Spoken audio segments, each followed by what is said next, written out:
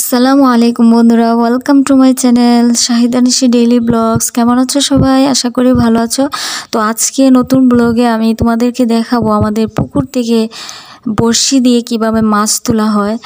আর আমি অনেক এক্সাইটেড তো আপনারাও দেখতে থাকেন আমার সাথে।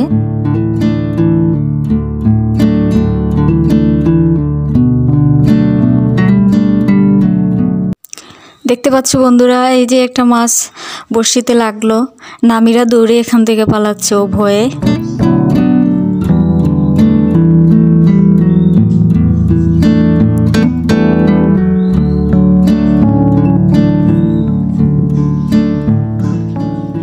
এটাকে আমাদের সিলেটি ভাষায় কালিয়ারা মাছ বলা হয়। এটা কালিয়ারা মাছের পোনা।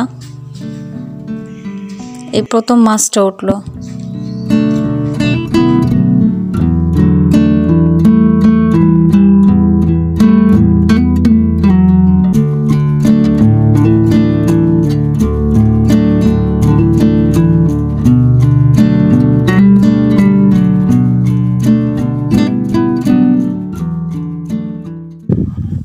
এখানে আরেকটা সরপুটি উঠছে। নামিরা দেখেন কত দূরে গিয়ে দাঁড়ায় রয়েছে আর এই মাছটা ছেড়ে দিতে চাইছিল, কিন্তু ও বর্ষির আগা খেয়ে ফেলছে এই কারণে। আর ছাড়া হয় নাই, কারণ এখন ছাড়লে তো পানিতে মরে যাবে। তো এটা রেখে দিচ্ছে।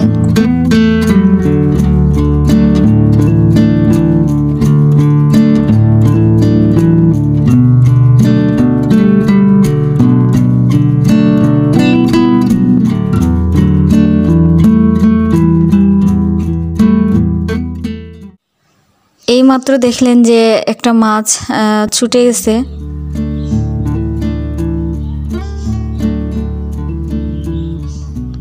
আজকের ওয়েদারটা অনেক সুন্দর, রোদ কম আর বাতাসও, এই জন্য আমরা আসলে আসলাম বড়শি দিয়ে মাছ তুলতে।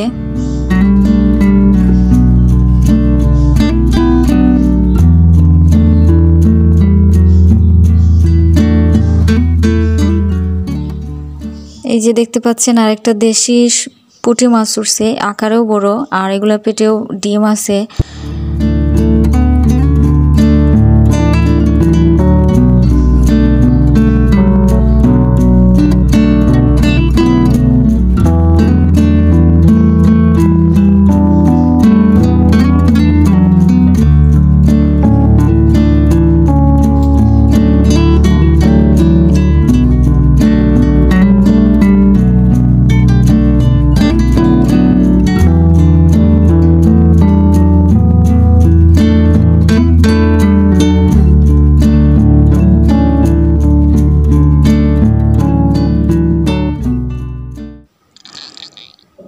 এতক্ষণ যা মাছ তোলা হয়েছে এখন আর সম্ভব না, কারণ বসির মাথা ভেঙে নিয়ে গেছে মাছ।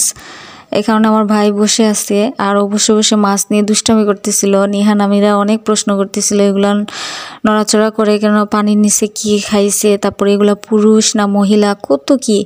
তো ওদের প্রশ্নের উত্তর দিতেছিল আর বসে বসে করতেছে ওর বসিতে এখন মাছ উঠতেছে না। আর আমাদের যে ফুফু, উনি মাছ তোলার চেষ্টা করতেছে, ওনার বড়শিরও আগা নাই। তারপরও দুই একটা মাছ লাগছে। তো আজকে আর এখন আর সম্ভব না, মাছ উঠতেছে না। আমরা যেগুলো পাইছি এগুলো নিয়ে চলে যাচ্ছি।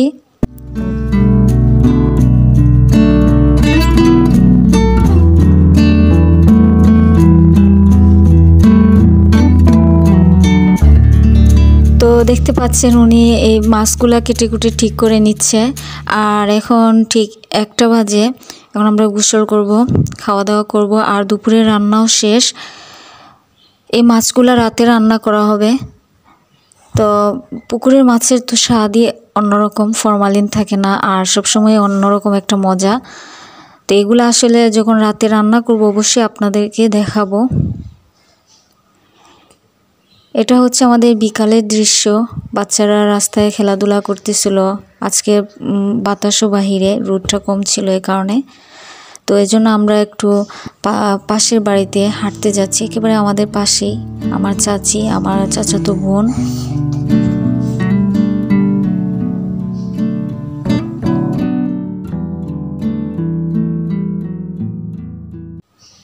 বাহিরে অনেক বাতাস, এদিকে আকাশেও অনেক বড় চাঁদ। আর সবাই বাহিরে বসে হাঁটা, বসে খেলতেছিল, হাঁটাহাঁটি করতেছিল। নিহা নামিরাও বাহিরে আছে। নিহা একটু পড়ালেখা শেষ করে তারপর বাহিরে গেল।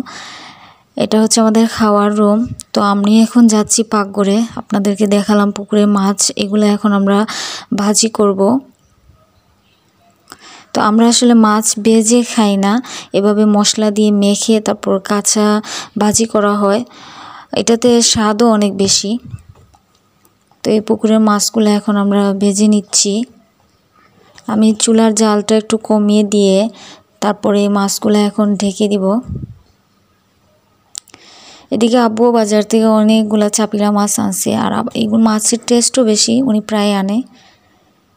আম্মু ফ্রিজ থেকে এখানে ইলিশ মাছ বের করল। এক অংশ মুখি দিয়ে রান্না করা হয়েছে আর বাহিরে সবাই বসে খেলাধুলা করতেছিল। তো আমার ব্লগটি আজকে এই পর্যন্তই। সবাই ভালো থাকবেন, সুস্থ থাকবেন। কেমন লাগল অবশ্যই জানিয়ে দিবেন। আমার চ্যানেলের সাথেই থাকবেন। আল্লাহ হাফেজ।